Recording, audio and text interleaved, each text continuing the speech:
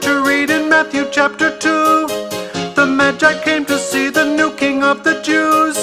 They sought the Christ child who was born for me and you.